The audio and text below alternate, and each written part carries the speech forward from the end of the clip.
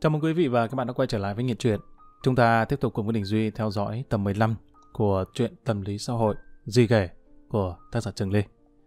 Trước khi vào cùng Đình Duy nghe chuyện, xin mong quý vị và các bạn bất chút thời gian chúng ta nhấn nút đăng ký kênh Nghiện Truyện và cho Đình Duy, cho tác giả Trường Lê xin một like, một click chia sẻ và để lại comment của mình sau khi nghe hết từng tập truyện.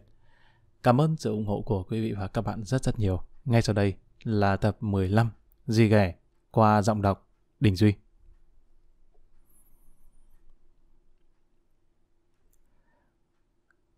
Chẳng hay anh làm nghề gì? Câu hỏi đầu tiên từ mẹ cô Thúy khiến chú Đại hơi ái ngại. Bởi vì sao rõ ràng cuộc gặp gỡ đầu tiên này chỉ là chuyện chúc Tết của phụ huynh học sinh với gia đình cô giáo. Việc hỏi nghề nghiệp chỉ dành cho trường hợp ra mắt bố mẹ người yêu, nghe có lẽ hợp lý hơn. Chú Đại hơi bất ngờ bởi câu hỏi của mẹ cô Thúy Chú đáp. Dạ thưa bác, cháu làm ăn buôn bán nhỏ thôi ạ. Cô Thúy nói, sao mẹ lại hỏi thế? Đây chỉ là phụ huynh của một trong những học sinh của con thôi. Mẹ hỏi cứ như hỏi cung vậy. Mẹ cô Thúy thở dài. Thế mà tôi tưởng hai chị đang hẹn hò cơ đấy. Còn nếu chỉ là phụ huynh học sinh thì được. Vậy anh ngồi chơi, tôi xuống bếp dọn dẹp lại chút việc. Nhà cửa mới mùng một mà bề bộn quá. Hai bố con chỉ giỏi bày ra, có phụ giúp được gì đâu. Chú Đại cười gượng, vì chú đủ thông minh để hiểu đó là một câu đuổi khách khéo léo nhưng cũng vô cùng thâm của bà chủ nhà. Nhà cửa trang hoàng sạch sẽ như thế này, mà nói bẩn cần đi dọn dẹp, chẳng phải bà ấy ám chỉ từ lúc hai chú cháu bước vào là bẩn nhà hay sao? Lại còn bố con bày ra, ý nói cô Thúy đang tha rác về nhà. Bố cô Thúy cười xòa. Cậu uống nước đi. Bà nhà tôi vốn tính sạch sẽ, nên cái gì cứ hơi bề bộn một tí là khó chịu. Cậu đừng để tâm nhé. Cũng kịp lúc đó điện thoại chú Đại có chuông. Là mẹ chú Đại gọi. Bắt máy, chú làm bộ nói. Dạ vâng, giờ con về ngay đây ạ. Dạ dạ. Đầu dây bên kia mẹ chú Đại nhìn chồng chẳng hiểu gì nói. Thằng này nó làm sao ấy nhỉ? Tôi gọi hỏi nó đến nơi chưa? Nó lại bảo con về ngay. Lúc này, ở nhà cô Thúy, chú Đại đứng dậy, cười tươi chào gia đình. Thưa hai bác, năm mới hai chú cháu cũng làm phiền gia đình mình ít thời gian. Giờ hai cháu phải về đây ạ. Một lần nữa chúc gia đình cô giáo năm mới mạnh khỏe nhé. Cháu chào hai bác, cháu về. Về thôi năm. Bố cô Thúy nói, sao mới đến mà đã về ngay thế, nước còn chưa kịp uống. Chú đại viện lý do phải về chở mẹ đi chúc Tết nên xin phép. Cô Thúy đáp, vậy để tôi tiễn hai chú cháu ra cổng. Ra đến đường, cô Thúy vừa đi vừa nói, xin lỗi anh, bà nãy cách nói chuyện của mẹ tôi hơi quá đáng, mong anh thông cảm. Tôi cũng không hiểu vì sao hôm nay bà lại như vậy. Chú Đại khẽ cười, không sao đâu, Tôi cũng quen rồi. Những người trong xã hội như tôi thường dễ gây khó chịu với những người có học thức, có địa vị như mẹ của cô. Điều đó là dễ hiểu. Có lẽ bác gái không coi tôi là phụ huynh học sinh, mà coi tôi là người đang theo đuổi cô. Chính vì vậy, việc bác ấy có thái độ với tôi là điều bình thường. Không người mẹ nào lại muốn con mình quen biết một người nhìn như xã hội đen cả. Hơn nữa cô còn là một giáo viên. Cô Thúy im lặng không nói. Ra đến chỗ đậu xe, chú Đại nhìn cô Thúy cười. Nhưng nói thật, Càng như vậy tôi lại càng hào hứng, cô giáo ạ. Có khi tôi sẽ khiến mẹ cô phải bực mình nhiều lần nữa đấy. À, mà ban nãy cô chỉ lì xì cho Nam, mà không lì xì cho tôi à? Tôi cũng là người làm ăn đấy nhé. Cô Thúy mỉm cười, chẳng hiểu thế nào mà cô Thúy xòe tay ra có thanh kẹo sô-cô-la. Loại kẹo được bày ở bàn phòng khách khi nãy, đưa cho chú Đại. Cô Thúy nói, đây, tôi chỉ có mỗi cái này thôi, coi như lì xì năm mới cho anh nhé. Thôi, Nam về em nhé, cô cảm ơn gia đình. Nói xong cô Thúy vẫy tay chào hai chú cháu rồi quay lại nhà. Chú Đại ngồi trên xe, cầm thanh kẹo cười tủm tỉm. Thằng Nam ngồi cạnh giật lấy, nói Chú cho cháu nhé, kẹo này ngon lắm. Nãy cho ăn một cái rồi, ngon cực kỳ. Định lấy cho Hạnh một cái mà chú về nhanh quá. Chú Đại gào lên. Không được, trả lại đây. Kẹo này không ăn được. Nam nhân mặt. Kẹo không để ăn thì làm gì? Chú cho cháu đi, lát cháu cho cái Hạnh. Chú Đại rằng lại cho vào túi rồi nói. Cái gì cũng được, nhưng cái kẹo này không được. Cháu thích ăn hả? Vậy một hai hôm nữa, người ta bán hàng, chú mua cho cả đống. Ok không? Thích gì cũng chiều. Nam hí hửng. Ok luôn, chú nhớ nhá. Phải mua đúng loại này đấy. Mà nhà cô Thúy đẹp chú nhỉ? Nhìn như lâu đài vậy. Giờ cháu mới biết nhà cô ấy giàu vậy đấy. Lái xe ra gần khu bảo vệ. Một người mở barrier xe cho chú Đại ra ngoài.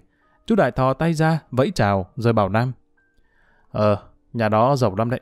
Nhìn đồ nội thất với trưng bày trong phòng khách là đồ biết giàu cỡ nào rồi. Cái cách mà mẹ cô Thúy ngồi cũng không phải là dạng người bình thường đâu. Nói như thế nào nhỉ? Có thể nói bà ta thuộc tầng lớp quý tộc. Nhưng lẽ ra người như bà ấy thường rất biết cách cư xử với những người lần đầu gặp mặt vì họ có một nghệ thuật giao tiếp rất tốt. Nhưng sao bà ấy lại gai gắt với chú thế nhỉ? Có khi nào chú bị ghét không Nam? Nam trả lời gọn lòn. Cháu thấy chú bị ghét rõ ràng rồi. Mà sao chú biết bà ấy quý tộc? Chú Đại cười. À, chú đoán vậy. Bởi chú cũng nhiều lần phải đi nhờ cậy truyền làm ăn ở chỗ các quan chức cấp cao. Thành phố có, tỉnh cũng có. Mấy bà vợ của mấy ông đấy bà nào cũng mang phong thái như vậy. Kiểu như họ được học, được đào tạo để thể hiện mình trước người khác ấy. Bà nãy mẹ cô Thúy cũng khiến chú cảm thấy điều đó. Chính vì vậy mà chú lại dễ ăn nói hơn. Vì quá quen khi tiếp xúc với những người như vậy rồi. Bình thường, dù họ có ghét mình, nhưng họ không để lộ ra đâu. Ngược lại còn tiếp đãi vô cùng tử tế. Chỉ khi mình về, họ mới nói xấu. Đằng này... Mà thôi, về bà ngoại ăn cơm đi, chú cũng hơi đói rồi. Nam đáp. Cháu cũng thế, về nhà ăn món thịt không nhục bà ngoại làm với cơm nóng là hết giày con bà bảy. Thế có đón cái hạnh không chú? Chú Đại nói. Thôi, cứ để con bé ở đấy chơi với bố. Chú cháu mình về thôi. Vậy là cũng xong hết Tết rồi. Mai ngày kia mình đi chùa, đi chơi đâu đó cho thoải mái. Bố mẹ chú thì chắc không đi, vì bận trong bố Tuấn. Mai chú cháu mình chờ bà ngoại đi chơi. Được đấy nhỉ? Nam cười tít mắt. Vâng, bà cháu lâu lắm rồi không được đi đâu. Hồi còn khỏe bà cũng thích đi chùa lắm. Giờ già rồi chẳng đi được đâu. Chú mà chờ bà đi là bà vui lắm đấy. Hai chú cháu lái xe về thẳng nhà bà ngoại. Buổi gặp gỡ chấp nhoáng ban nãy khiến chú Đại suy nghĩ khá nhiều. Đây là lần đầu tiên chú Đại nghiêm túc trong chuyện tình cảm. Nhưng phải nói chú Đại có con mắt tinh đời đến đáng sợ. Lần đầu biết yêu mà ông ấy nhắm ngay vào con một nhà gia giáo lại còn có tiền. Chắc chắn phải có tí quyền, bởi vì cách nói chuyện của mẹ cô Thúy tuy hơi đáng ghét nhưng mang một sức nặng rõ ràng. Lúc nãy mảnh mồm nói với cô Thúy thế thôi, chứ thực ra chú Đại biết đồn địch này vô cùng khó đánh. Không phải đồn bình thường mà có khi nó là lô cốt rồi. Lô cốt bom đánh còn không sập, thì liệu chú Đại sẽ tấn công bằng cách nào đây? Đó chính là điều chú Đại băn khoăn từ nãy đến giờ. Về phần cô Thúy, sau khi tiễn hai chú cháu ra về, cô quay trở lại nhà. Vừa mở cửa ra là cô đã thấy mẹ ngồi ở phòng khách. Bà nói, mẹ nói cho con biết trước, người như nó không bao giờ mẹ chấp nhận đâu. Cô Thúy ngỡ ngàng trước câu nói của mẹ, cô ấp ống nói, sao mẹ lại nói như vậy? Con với anh ta đâu có gì đâu. Mối quan hệ chỉ là phụ huynh học sinh với thầy cô giáo. Mẹ đừng hiểu lầm. Bà Chi mẹ cô Thúy đáp, thôi, con không phải giấu mẹ. Hôm trước mẹ đã nhìn thấy con và cậu ta ngồi trong quán cà phê nói chuyện vui vẻ. Làm gì có mối quan hệ phụ huynh học sinh với thầy cô giáo lại thân mật đến mức như thế được. Hôm đó tuy cậu ta có hơi khác so với ngày hôm nay. Nhưng dù thế nào thì mẹ cũng không chấp nhận con đi lại với những người như thế. Ông Thành, bố cô Thúy tiếp lời vợ. Bố thì không đến mức gay gắt như mẹ. Tuy nhiên lần này bố thấy mẹ con nói đúng. Việc con là giáo viên mà lại quen biết với những người thuộc dạng xã hội như thế, bố thấy không ổn đâu con. Cô Thúy đáp. Sao bố mẹ biết anh ta là dạng người xã hội? Mà hơn nữa xã hội thì cũng có người này người nọ. Không phải ai xã hội cũng xấu.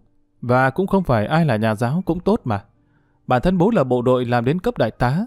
Mẹ lại là hiệu trưởng một trường quốc tế. Còn có nghĩ hai người sẽ có những suy nghĩ cấp tiến chứ không phải cổ hủ như thế này. Mẹ cô Thúy nghiêm mặt nói.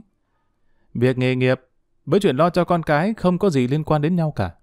Nếu như con nói, thì chính vì bố mẹ là những người có địa vị xã hội, nên càng không muốn con mình có những mối quan hệ không lành mạnh. Mẹ chưa nói cậu ta không tốt, nhưng việc cậu ta là dân xã hội, thì chỉ cần nhìn, mẹ đã đoán chắc chắn 100%. Còn con, cũng lớn rồi. Con chắc cũng biết dân xã hội họ thường làm những công việc gì. Dù cho bây giờ hoặc sau này, họ có làm ăn lương thiện đi chăng nữa.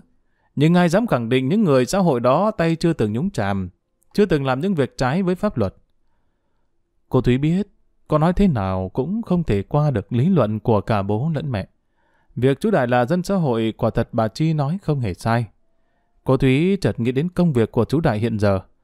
Bản thân cô cũng không biết chú Đại làm nghề gì, mà chỉ biết đơn thuần là buôn bán.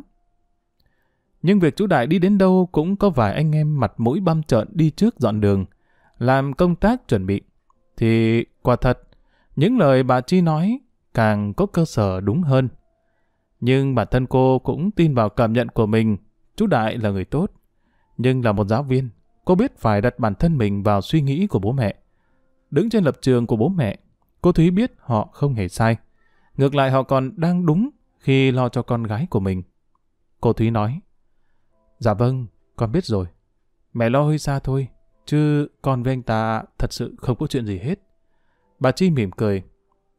Mẹ lo xa, cũng là lo cho con gái mẹ thôi. Nhà có hai anh em, mà anh con thì... Mà thôi, năm mới đừng nhắc lại chuyện buồn nữa. Mà mẹ giới thiệu cho con thằng Hải giáo viên ở trường mẹ. Sao con không chịu nói chuyện? Nó vừa hiền lành, lại là con nhà gia giáo. Tuy hiện tại chỉ là giáo viên dạy ở trường, nhưng tương lai nó sẽ còn tiến xa lắm con ạ. Mà gia đình nó cũng hợp với nhà mình. Nó nói tối nay sẽ đến chúc Tết nhà mình đấy. Con phải ở nhà tiếp nó đấy nhá. Mẹ hẹn hết rồi. Cô Thúy khẽ cúi đầu xuống rồi nhìn mẹ nói. Lại giáo viên, mẹ quên mất vì ai mà đến giờ trong suốt hai năm qua con không dám quen một người đàn ông nào sao? Cũng là nhờ người giáo viên mà mẹ giới thiệu cho con khi con mới ra trường nữa. Bà Chi tức giận. Thúy, con dám ăn nói với mẹ như vậy à? Mẹ làm tất cả cũng chỉ vì muốn tốt cho con. Sao con dám nói như thế? Ông Thành vội xoa dịu. Đầu năm mới, hai mẹ con đừng nói đến những chuyện không vui nữa. Đừng làm cả nhà mất vui. Thúy, con cũng không nên nói như vậy. Mà cả bà nữa. Con cái nó lớn rồi. Chuyện tình cảm nên để chúng nó tự quyết định. Có chăng vợ chồng mình chỉ nên tham gia, chỉ bảo nó một chút. Không nên áp đặt quá. Còn chuyện khách khứa đến nhà chúc Tết năm mới, mình cũng phải nhã nhặn. Bà nãy bà làm như vậy, tôi cũng thấy ngại với khách quá. Cô Thuế im lặng đi vào trong. Bà Chi nói với ông Thành. Tôi cũng chỉ muốn con mình sau này được vào nhà gia giáo có tiền đồ. Mẹ làm hiệu trường, nhưng bảo con về trường dạy thì không chịu. Bao nhiêu chỗ tốt lành thì không chịu. Lại đi có tình cảm với một thằng dân xã hội. Cũng là phần đàn bà. Tôi nhìn cách nói chuyện, cách nó nhìn thằng kia, là tôi biết nó cũng có tình cảm rồi. Sao con cái nhà này, đứa nào cũng không nghe lời bố mẹ vậy? Đã thế ông còn bênh nó nữa. Tôi sắp thành người thừa trong cái nhà này rồi. Ông Thành lắc đầu không muốn tranh luận thêm, nhưng ông cũng hiểu rõ vì sao con mình lại tỏ thái độ như vậy. Nhớ lại chuyện cách đây gần 3 năm về trước, ông cũng cảm thấy xót xa cho đứa con gái của mình. Mọi chuyện cũng bắt nguồn từ sự giới thiệu của vợ ông. Cũng chính từ việc đó mà gia đình ông xảy ra chuyện con trai lớn của ông cũng không chịu nổi sự áp đặt của mẹ mà đã bỏ ra ngoài sống, không muốn về nhà. Cô Thúy thì tình cảm đổ vỡ, từ ngày đó cũng chỉ một mình, không muốn yêu đương hay dây dưa với bất cứ chàng trai nào. Vậy nhưng bà Chi vẫn bảo thủ không chịu nhận ra cái sai của mình. Có lẽ đó cũng chính là bản tính của bà. Ngày hôm nay, khi nhắc đến chuyện tình cảm, cô Thúy một lần nữa lại nhớ đến cái quá khứ không vui của mình. Đi vào phòng, đóng cửa lại, cô Thúy bật khóc khi phải nghĩ đến chuyện yêu đương của mình ngày trước. Gã người yêu trước đây của cô tên Nhật, cũng là một giảng viên đại học. Cô quen hắn cũng bởi mẹ cô giới thiệu khi cô ra trường đang trong quá trình dạy thực tập. Một cô gái bao năm chỉ biết học và học với định hướng nghề nghiệp từ gia đình đã chấp nhận sự sắp xếp của bà mẹ quyền lực yêu tay giảng viên hào hoa phong nhã. Để rồi khi trao tất cả cho hắn, cô mới phát hiện ra hắn rốt cuộc chỉ là một kẻ lăng nhăng. Yêu nhau gần 3 năm, khi mà cô Thúy nghĩ đến chuyện kết hôn, thì trong một lần lặn lội đường xá xa xôi lên thành phố thăm người yêu, cô đã phải nhận đắng cay khi thấy hắn đưa một cô sinh viên vào khách sạn. Bản thân là một người có tư tưởng tiến bộ, là một cô gái khá cứng rắn, nên ngay lập tức cô Thúy đã chia tay gã đàn ông sở khanh với cái mác giảng viên đại học. Rồi từ đó đến nay, cô không thể chấp nhận thêm một người nào khác cho đến khi gặp chú Đại. Người đàn ông nhỏ bé nhưng có phần chân thật, cương nghị. Một người đàn ông khi nói chuyện với phụ nữ luôn thô kệch, không hoa mỹ, không bay bướm, nhưng lại khiến cô thấy vui vẻ, khiến cô có thể nở nụ cười. Cô Thúy cảm nhận được sự chân thành từ chú Đại. Khác hẳn với những người có học thức, có bằng cấp mà mẹ cô đã giới thiệu trước đây. Tuy nhiên, khi mà cô cảm nhận được sự rung động trong trái tim của mình với người đàn ông nhỏ bé ấy, thì cũng là lúc cả hai nhận ra một rào cản vô hình, vô cùng lớn giữa hai người. Đó chính là sự ngăn cản của gia đình. Xét về một mặt nào đó, xuất thân của hai người quá khác biệt. Khác biệt đến mức nếu chỉ cần đặt hai cụm từ giáo viên, xã hội đen vào với nhau thôi, ai cũng phải lắc đầu ngao ngán. Xã hội ngày càng tiên tiến, nhưng nó chưa đủ tiên tiến để tất cả mọi người coi đó là một sự bình thường. Cũng giống như việc cả thế giới hô hào quyền bình đẳng cho phụ nữ.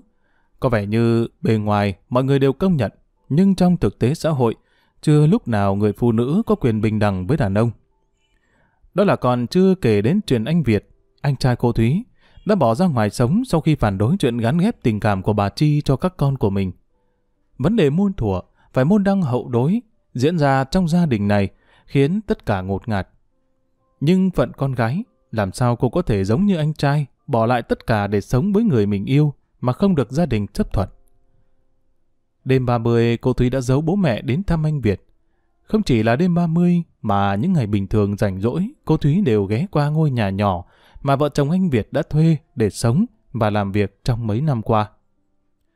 Bế đứa cháu mới được hơn tuổi trong tay, cô Thúy nâng niu nó như một người mẹ. Ngôi nhà nhỏ xíu, thiếu thốn đồ đạc, nhưng lại vô cùng ấm áp, hạnh phúc. Luôn có tiếng cười mỗi khi đứa trẻ dơ dơ bàn tay xinh xắn lên o e trêu người lớn. Đúng vậy, anh trai cô đã bỏ qua mọi định kiến, mọi trở ngại để cưới người con gái mình yêu. Dù cho bố mẹ không chấp nhận, chỉ vì cô gái ấy là một công nhân làm giày da. Gia đình ở quê nghèo khổ. Vậy nên mặc dù là con trai cả của một gia đình giàu có, có bằng thạc sĩ, nhưng anh trai cô vẫn từ bỏ, mặc cho bố mẹ phản đối để cưới người mình yêu làm vợ. Vậy mà cũng đã ba năm trôi qua rồi. Bỗng nhiên cô Thúy thèm cái cảm giác đầm ấm mà cô được cảm nhận ở nhà anh trai ngày 30. Nó khác hẳn với cái không khí lạnh lùng trong ngôi nhà khang trang rộng rãi nhưng gò bó này. Đột nhiên, điện thoại đổ chuông. Là chú Đại gọi. Cô Thúy bắt máy nói.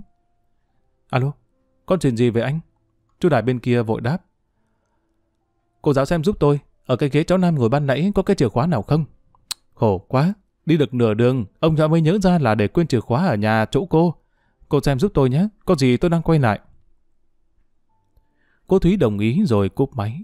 Cô chạy ra phòng khách thì quả thật, ghế nam ngồi ban nãy có một chùm chìa khóa nhỏ. Cầm trong tay, cô Thúy đi vào phòng nhắn tin cho chú Đại. Có anh nhé, khi nào anh đến thì gọi, tôi sẽ mang ra. Tầm đâu khoảng 15 phút sau thì có chuông ngoài cổng.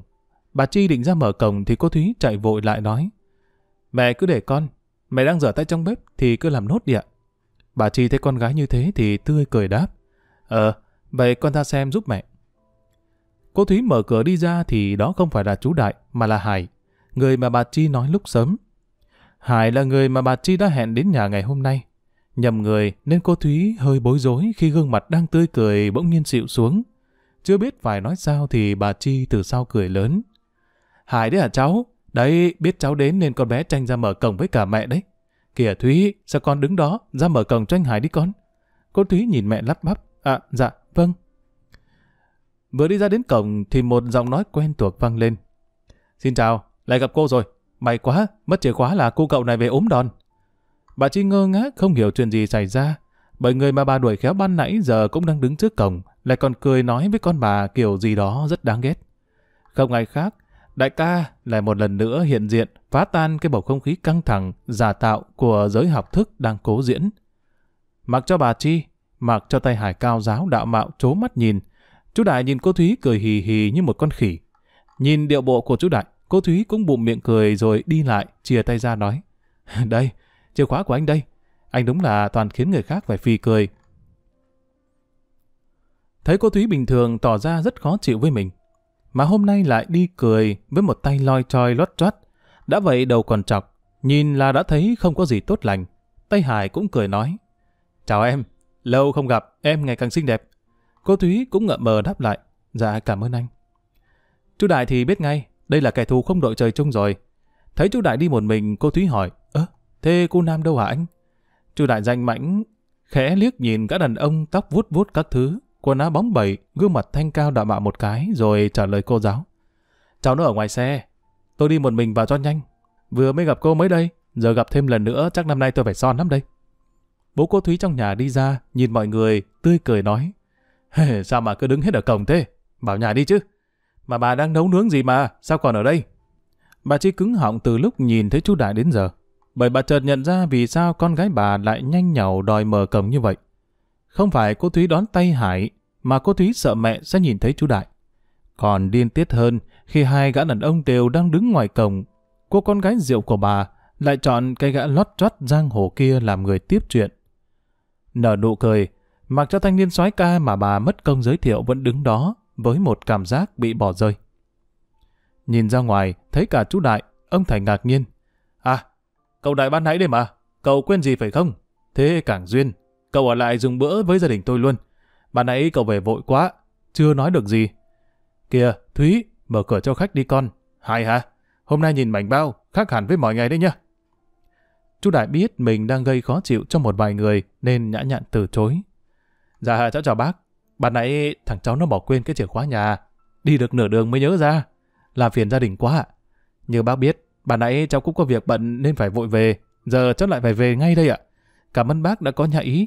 Dạ, cháu chúc gia đình đã mới vui vẻ ạ. Chào cô giáo, tôi về nhé. Cảm ơn cô. Mà cảm ơn luôn cái lì xì của cô nữa. Tôi sẽ giữ nó cẩn thận. Chú Đại chơi bài hiểm khi nhắc đến lì xì. Nhưng thực ra đó chỉ là cái kẹo sô-cô-la. Nhưng chỉ vậy thôi cũng đủ khiến thanh niên tên Hải nhìn chú Đại với cặp mắt không mấy dễ chịu rồi. Biết đã chọc đúng vào chỗ ngứa thành công, chú Đại đưa tay ra nói. Chào anh Hải, năm mới chúc anh mạnh khỏe. Vậy nhưng Hải liếc chú Đại một cái rồi đi vào trong khi cô Thúy vừa mở cổng ra. Hắn không thèm bắt tay với chú Đại.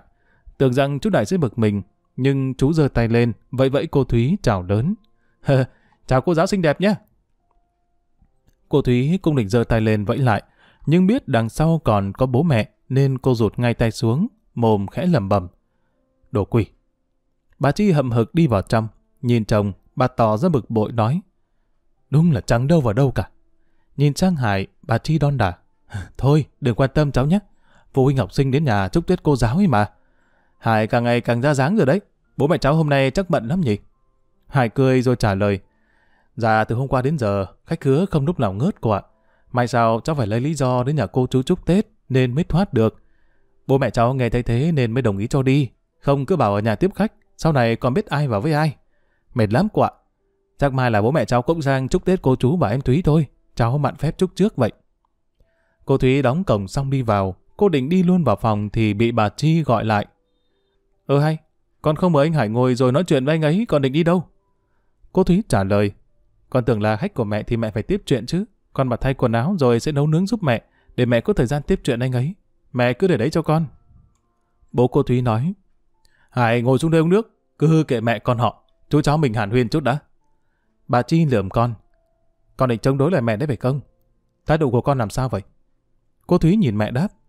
Con chỉ đang học mẹ cách tiếp khách thôi. Mà mẹ để đấy con làm nốt. Mẹ lên tiếp chuyện anh ta đi. Nhưng con cũng nói trước với mẹ. Con cũng không chấp nhận anh ta đâu. Con cũng lớn rồi. Chuyện tình cảm của con mẹ nên để con tự quyết định ạ. Sóng gió đã nổi lên ngay hôm mùng 1. Cô Thúy đi vào phòng, thờ mạnh ra. Vừa mới đây thôi, cô đã dám cãi lời bà mẹ quyền lực trong ngôi nhà. Nhưng cô cũng biết, hạnh phúc của một người phụ nữ là phải tự tay mình nắm giữ. Khi nghĩ đến gia đình anh trai, cô thấy họ thật hạnh phúc. Rồi khi nhìn hai người đàn ông trái ngược nhau, đứng ngoài cổng, cô đã nhận thấy đâu là người cho cô cảm giác an toàn. Đó không phải là tay thầy giáo soái ca kia. Đằng sau vẻ thanh cao điểm đạm ấy, cô Thúy nhận thấy sự nguy hiểm mà cô đã phải trải qua cách đây hai năm về trước. Tuy nhiên khi người đàn ông nhỏ bé kia xuất hiện, cô lại cảm thấy an toàn. Mọi sự gượng gạo đều biến mất. Chỉ nhìn thấy chú Đại là cô Thúy đã có thể cười. Tất nhiên, kẻ khiến cho một người phụ nữ có thể cười chính là người chiếm được tình cảm của họ. Điện thoại cô Thúy có tin nhắn. Mở ra, cô thấy đó là tin nhắn của chú Đại chỉ vòn vẹn như sau. Một không nha. Cô giáo cười khẽ lém lỉnh. Ở ngoài xe lúc này, Nam thấy chú Đại tủm tìm cười thì hỏi. Có gì mà chú cười ghê vậy? Nhìn mặt gian lắm. Cháu còn tưởng chú sẽ chửi cháu vì quên chìa khóa chứ. Chú Đại quay sang nhìn Nam mừng rỡ. Nam ơi, chú yêu mày quá. Mày đúng là thần hộ mệnh của chú rồi. Đúng là chú không nhìn lầm người mà. Nam thì chẳng hiểu chuyện gì đang xảy ra. Mới lúc trước khi quay lại nhà cô Thúy, Nam còn bị ông chú cằn nhằn, Thế mà quay trở ra, ông chú lại vui vẻ như thế. Mà kệ ông chú vẫn đang tưng tửng, Nam mở cửa xe nhìn ra ngoài, ngắm đường, rồi lầm bầm. Yêu vào, hình như người ta bị điên hay sao ấy. Chú Đại hắng giọng nạt nó. What con, nói gì đấy? Nam gãi đầu trả lời. Dạ đâu, cháu bảo có duyên quá, cô chú có duyên quá, duyên quá mà. chú Đại lườm đó. Thằng lòi này, giỏi. Bà ngoại Tết năm nay được chú Đại trở đi vãn cảnh chùa nên bà vui lắm. Cả Nam lẫn bé Hạnh cũng thấy thích vì cũng khá lâu rồi. Từ ngày ông ngoại mất, mấy bà cháu mới có một cái Tết sum vầy, đầm ấm như vậy. Tuy ông Tuấn nằm trong bệnh viện, nhưng bù lại tình cảm cha con gia đình lại tiến triển một cách tốt đẹp. Nằm trong biển nhưng con cái người thân luôn bên cạnh lại khiến ông Tuấn cảm thấy hạnh phúc hơn. Người đàn ông đã đi quá nửa đời người, thăng trầm, nằm gai nếm mật đủ cả, nhưng phải đến bây giờ mới cảm nhận được thứ tình cảm gia đình trọn vẹn. Về phần mụ hường, có lẽ từ khi được chú Đại đứng ra, lo cho một phần nợ nần, nên mụ cũng biết sống hơn. Trước mặt mọi người, dường như mụ đã thay đổi. Mụ quan tâm, hỏi han cả Nam lẫn Hạnh, mỗi khi hai anh em vào thăm bố. Mụ cũng không còn mặt nặng mày nhẹ với mọi người. Một tháng như vậy từ sau khi Tết đi qua, ăn Tết xong, nghỉ ngơi xong, cũng là lúc chú Đại phải chuẩn bị thực hiện lời hứa của mình với ông Tuấn. Đó là giải quyết nợ nần cho mụ hường như đã hứa với đám chủ nợ trước Tết. Cách đó một tuần, chú Đại có ngồi nói chuyện với ông Tuấn và bố mẹ. Cũng sắp đến lúc phải trả nợ cho vợ anh Tuấn rồi. Hôm qua chỗ bà Hường cũng gọi cho con, nói bà ấy đã xoay sở được hơn một tỷ. Thế Bảo cũng thu hồi nợ vài chỗ với miếng đất mà anh Tuấn cầm cố được sau khi sang tên đã bán đi. Vậy cũng tạm ổn, chỗ còn lại con cũng chuẩn bị xong rồi. Nhưng mà...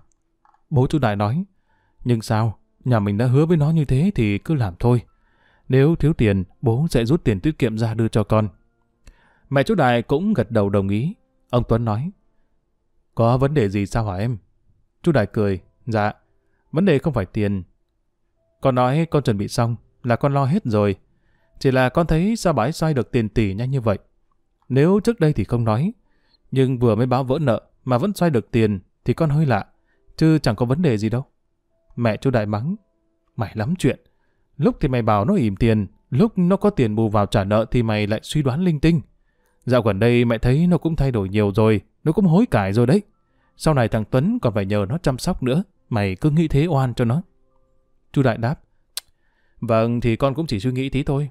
Chứ con trả nợ cho bà ấy cũng là vì anh Tuấn, vì các cháu. Con cũng hy vọng bà ấy thấy được điều này mà thay đổi cách sống. Chứ tiền bạc mua sao được tình cảm.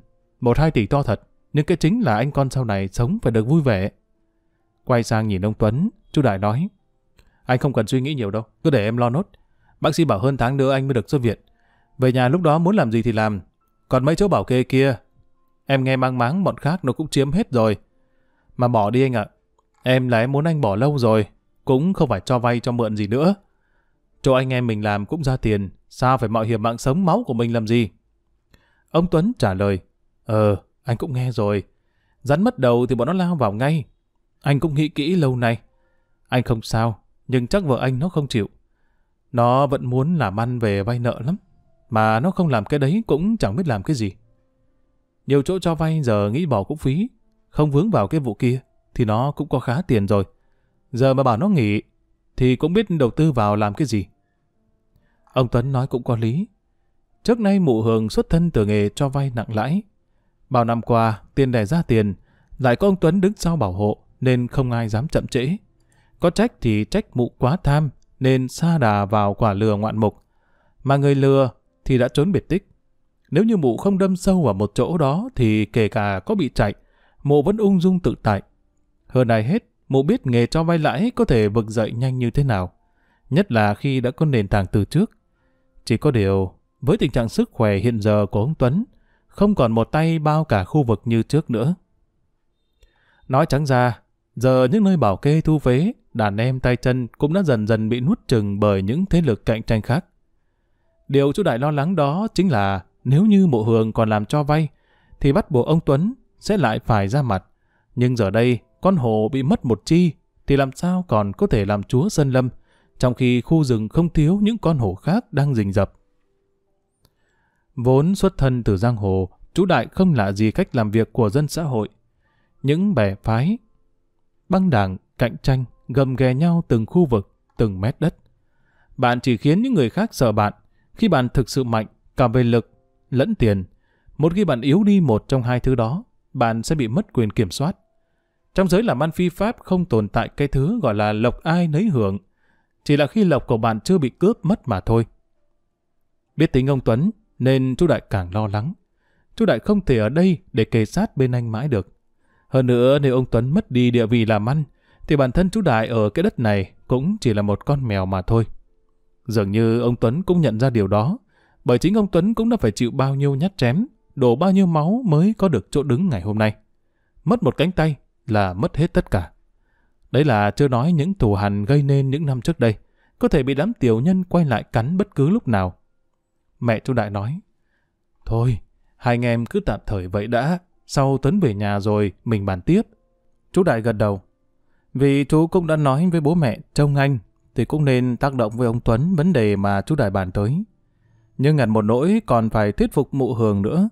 Mà điều này chú Đại không muốn. Bởi mụ hường trong mắt chú Đại không là cái thá gì cả. Chỉ cần ông Tuấn quyết định thì mụ phải theo.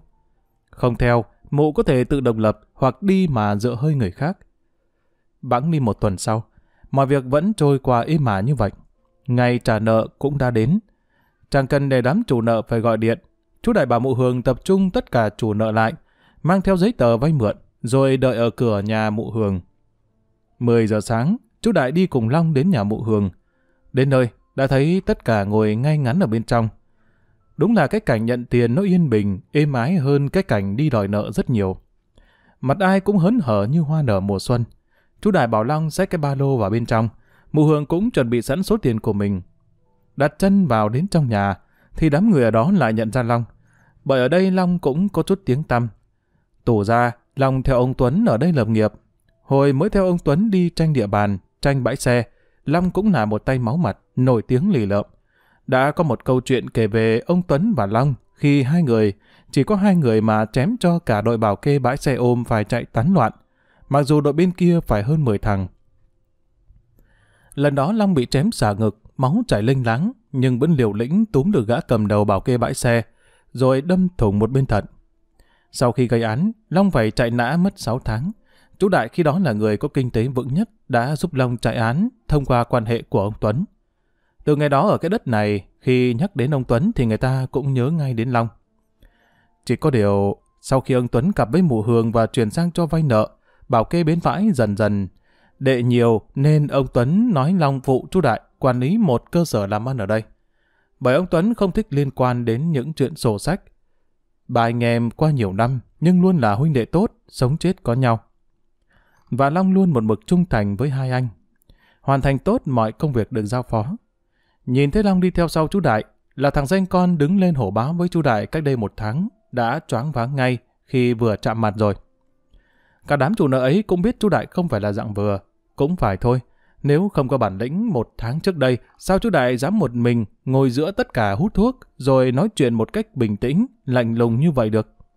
Ngay cả gã giang hồ máu liều như Long còn phải đi sau xách ba lô cho chú Đại, thì choáng là điều tất nhiên. Chú Đại vào chỗ ngồi rồi nói, Tổng số nợ vẫn như thế phải không? Trong một tháng qua, có ai cho chị Hường ở đây vay thêm không? Cả đám lắc đầu đáp. Hạn một tháng đã đến, hôm nay như hẹn chúng tôi đến đây lấy nợ. Giấy tờ chúng tôi mang đủ cả đây. Chú Đại nhìn Long nói. Em quay lại video, lưu lại cho anh. Dù sao cũng phải chắc một chút. Ở đây cũng toàn người có máu mặt. Giấy tờ thì giấy tờ, nhưng mình là người trả tiền, vẫn cần đảm bảo. Một tay cộm cán đáp. Chúng tôi không phải trẻ con. Hơn nữa cậu Long đây cũng biết bọn tôi. Không ai lạ gì ai cả. Cần gì phải chắc như thế. Chú Đại cười. Động chạm đến tiền bạc. Người thân còn giết nhau. Chứ nói gì dân xã hội. Mọi người cầm tiền xong là xong. Nhưng chúng tôi còn phải cho anh Tuấn xem buổi trả nợ nữa chứ. Chỉ là cái video thôi mà. Không ảnh hưởng gì đâu. Yên tâm đi. Tiền ở đây cả rồi. Mụ Hương thấy chú Đại nói chuyện như thế thì cũng yên tâm là chú Đại có mang tiền trả nợ cho mụ. Vì quả thật, cả tháng qua mụ vẫn sợ chú Đại lật kèo vì vốn không ưa gì mụ. Thủ tục giải quyết nợ nần diễn ra rất nhanh chóng. Ai nấy nhận tiền cũng vui vẻ ra về, mặc dù trong số đó chú Đại thấy có một hai người hơi run. Thu hồi lại đủ giấy vay nợ, chú Đại đưa cho mụ Hường rồi nói. Vậy là xong. Tôi mong chị từ nay về sau làm ăn nên cẩn thận một chút. Người ta bảo ăn ít nhưng chín, còn hơn ăn sổi, nhưng đôi khi lại bị sống đấy. Và mong chị sau này đối xử tốt với anh tôi. Chỉ cần thế là được. Chuyện tiền nong không nên suy nghĩ nhiều. Mụ Hương dối rít cảm ơn, hứa hẹn đủ các kiểu. Xong việc, chú Đại và Long ra xe đi về. Long nói. Sao đám này lại cho vợ anh Tuấn vay nhiều tiền thế hả anh? Trong số đó có cả tay kiên, cánh tay phải của lão phiến. Mấy năm nay đều đối đầu với anh Tuấn mà. Cũng chính đội này gần hai tháng qua đã dần dần chiếm mất một nửa chỗ làm ăn của anh Tuấn trước đây. Giờ chúng nó mạnh nhất ở đây rồi anh ạ. Em thấy hơi lạ lạ. Chú Đại đáp. Ừ, anh biết. Vì tháng trước anh có chụp ảnh cho anh Tuấn xem. Anh Tuấn cũng nói như vậy. Nhưng việc đối đầu với việc cho vay, nó không liên quan đến nhau. Xét về một mặt nào đó. Cho đối thủ vay tiền, này là một cách làm ăn khá hay đó. Anh Tuấn trước giờ có tiếng cũng một phần bởi cách sống không nhờ cậy. Có vay có trả song phẳng. Cho vợ một người như thế vay tiền, chú có sợ mất không? Nếu không trả thì tiếng tâm bị sỉ nhục. Còn nếu trả lại được lãi, mà lại thêm chỗ làm ăn. Long gật gù. Dạ vâng, em thấy lạ, nên hỏi chút thôi. Tại hôm đó anh cũng nói phải theo dõi chỉ Hường, nên em tưởng có chuyện gì. Chú Đại trả lời. Cho anh em thì chú biết rồi. Anh không ưa gì vợ anh Tuấn. Chú cũng biết anh từng phản đối anh Tuấn cưới bà ta. Nhưng không được. Anh biết bản thân bà ta vẫn còn tiền, nhưng không chịu bỏ ra trả nợ. Chẳng ai báo vỡ nợ, mà sạch nhẫn cả. Nhưng mới đây tự nhiên bà ta lại lòi ra một tỷ, nên anh cũng thấy yên tâm hơn. Im lặng một lát, chú Đại nói tiếp. Còn chuyện theo dõi cả tháng qua, thấy chỗ chú báo về cũng không có gì lạ. Đa số bà ta cũng chỉ đi mua sắm đồ Tết. Đợt Tết thì phần lớn thời gian cũng là ở trong viện, nên chắc không phải gì đâu. Mà anh nghĩ làm sao bà ta dám lừa anh Tuấn chứ? Trừ khi bà ta bỏ xứ mà đi, nếu không kể cả anh Tuấn còn một tay, thì anh cũng là người cho bà ta chết không kịp ngáp. Lần trước chuyện xảy ra với con bé Hạnh, con anh Tuấn đã khiến anh muốn giết người rồi. Long gật đầu. Có gì anh cứ bảo em. Dù sao bây giờ anh cũng là người chủ chốt. Anh còn phải lo cho anh Tuấn sau này nữa. Nên những việc gì khó nói, chỉ cần nói với em là được. Chu Đại vỗ vai Long cười lớn. Mặc vest, đeo cà vạt rồi, mà vẫn không bỏ được bản tính à? Long vừa lái xe, vừa mỉm cười. Cởi vét ra, thì em vẫn là em anh Tuấn thôi. Tính em với anh ấy giống nhau. Ngày anh ấy cứu em trong tù, rồi lôi em về đây, để em sống đến bây giờ, là đủ để em vì các anh mà nằm xuống trước rồi. Chú Đại cười. anh quen anh Tuấn trước chú mà. Mà hôm anh Tuấn dẫn chú theo, anh thấy chú là người sống tình nghĩa. Cũng nhiều chuyện xảy ra rồi. Nhưng cuối cùng, anh vẫn là người khiến anh Tuấn phải trả giá đắt. Long đáp. Thề với anh, hôm biết tin anh Tuấn bị anh chém, ban đầu em còn muốn tìm anh để nói chuyện. Nhưng sau tìm hiểu được mọi chuyện, thì em mới biết anh làm vậy cũng là vì con anh Tuấn. Chú Đại cười.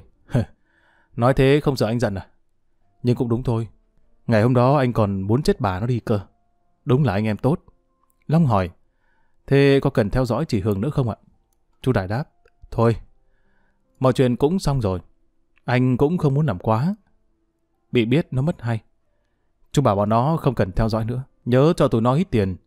Cả tháng qua vất vả rồi. Sang năm mới anh có mấy quả hàng. Nghe chừng kiếm được đó. Chỉ chờ thông quan bên trên kia là mình làm thôi. Nhưng nhớ, làm gì thì làm, phải đảm bảo chất lượng. Thế mới bền được. Long gật đầu rồi chở chú Đại đến bệnh viện. Hai anh em lên cho ông Tuấn một lúc rồi Long xin phép hai anh em đi giải quyết chút công chuyện. Vừa mở cửa đi ra thì Nam đi vào. Nam hơi giật mình khi thấy Long, bởi Long có vẻ ngoài khá lì, chưa kể đến vết sẹo cắt chéo qua mặt sống mũi, đủ để áp đảo những người đối diện. Nam nhìn vào trong nói, Con chào bố, cháu chào chú. Long nhìn Nam cười, Ra dạ, đây là con anh Tuấn hả? Nhìn cũng được đấy. Nghe anh Đại kể về nhóc suốt mà hôm nay chú mới thấy. Nam ngơ ngác. Chú là... Long cười. Chú là Long, cũng là em của bố cháu.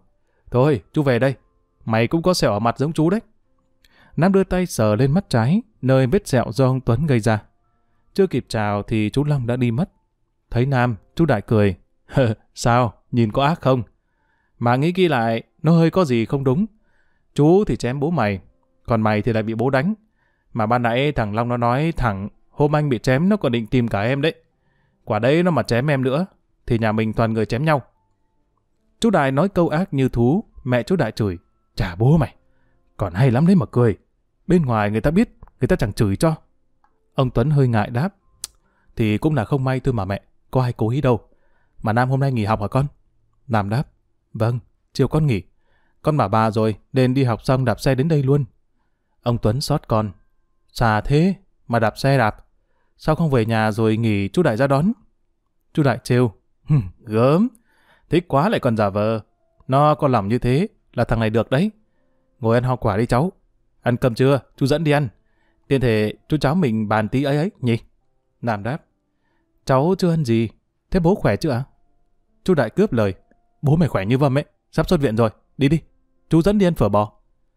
Vừa nói chú Đại vừa tháo cặp của Nam rồi hai chú cháu kéo nhau đi. Ông Tuấn thì cười, vì thấy chú cháu càng ngày càng thân thiết.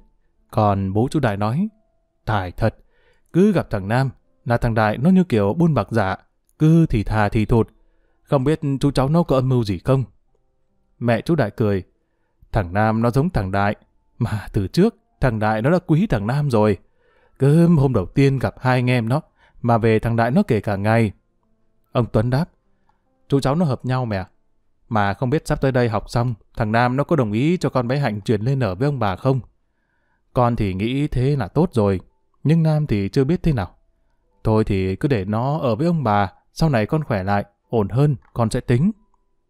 Bố chú Đại nói, ra mà không có cái hường, thì con lên đó ở luôn cũng được. Ơ, ấy chết. Như biết mình vừa nhỡ mồm, nên bố chú Đại không nói nữa. Mẹ chú Đại vội chữa. Cái ông này vớ vẩn. Chẳng qua thằng Đại có quyết định như thế. Với lại tôi với ông cũng quý cháu. Chứ ở đâu chẳng được.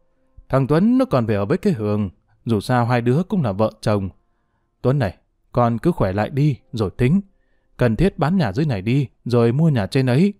Trên đó Đại nó cũng làm ăn được. Hai anh em tập trung mà làm. Ông Tuấn cười. Bố mẹ đừng lo cho con.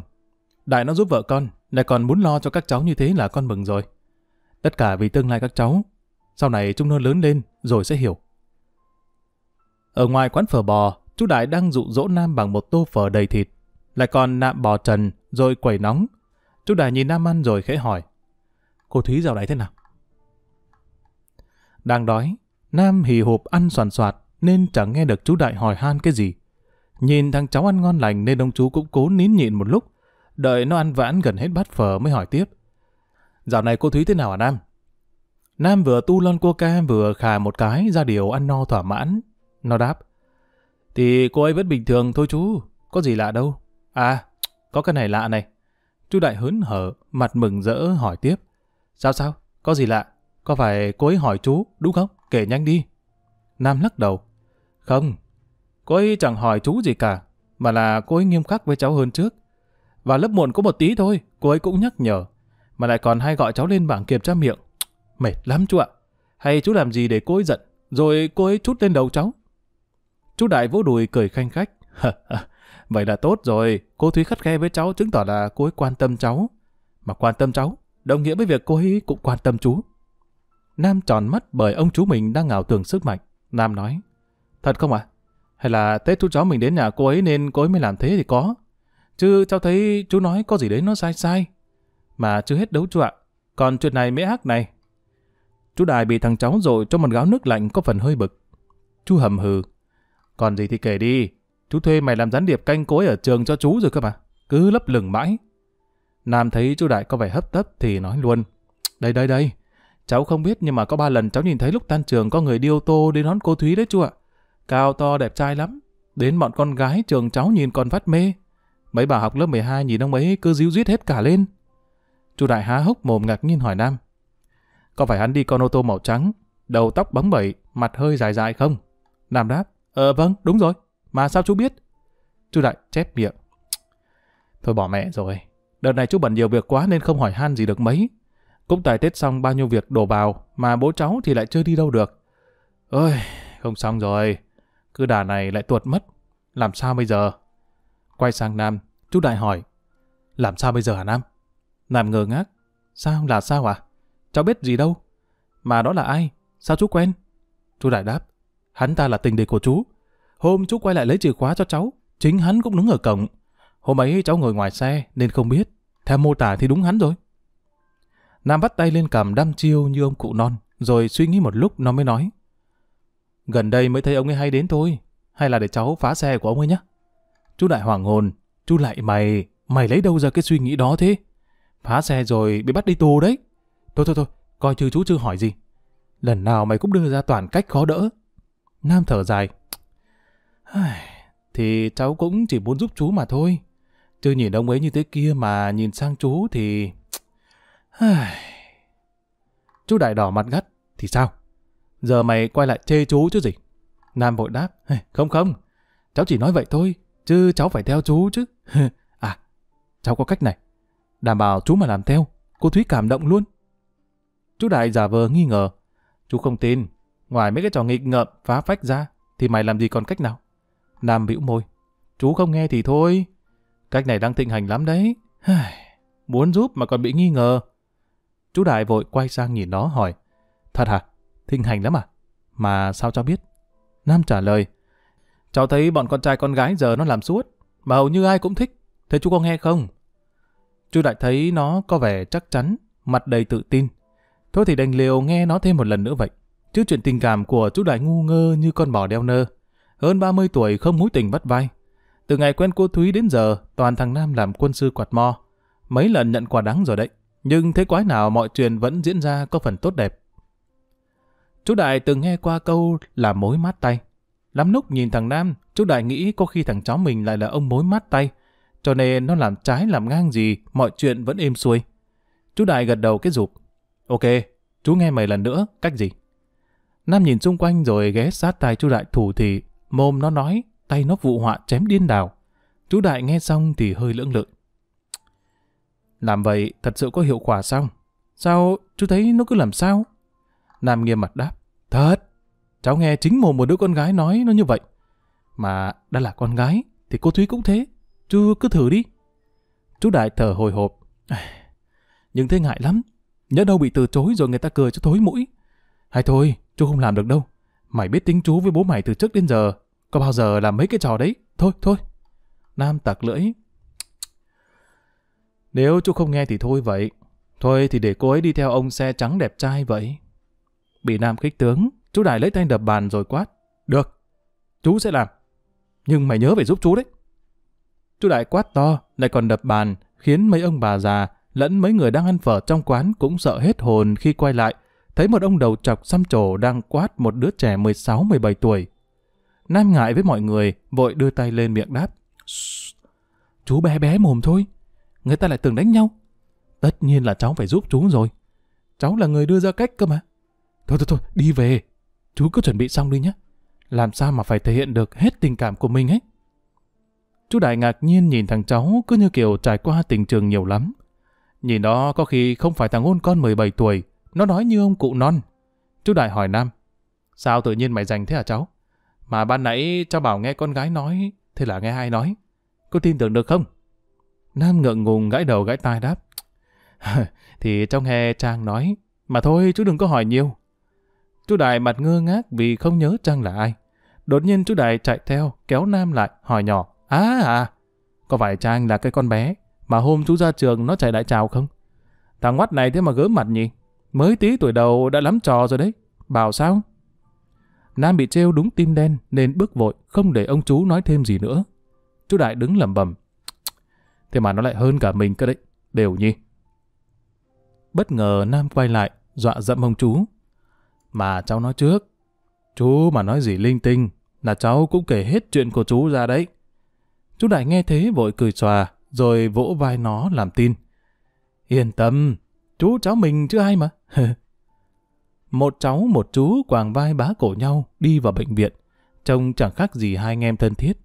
Bố chú Đại đứng ở trên tầng, nhìn qua ban công phòng bệnh, cũng chỉ biết lắc đầu cười mỉm. Khi phía dưới sân, hai chú cháu đang cười đùa vui vẻ. Ở bên trong, ông Tuấn cũng đang thao thao bất tuyệt kể chuyện ngày xưa cho mẹ chú Đại nghe. Cả nhà ai cũng vui. Nhưng liệu rằng niềm vui ấy sẽ kéo dài được bao lâu? Quý vị và các bạn thân mến, chúng ta vừa theo dõi hết tập 15 của Duy Ghẻ. Rất cảm ơn sự chú ý đón nghe theo dõi của quý vị cô các bạn. Hẹn gặp lại quý vị cô các bạn trong tập 16. Còn bây giờ Đình Duy xin chào. Chúc quý vị khán giả có một đêm ngon giấc.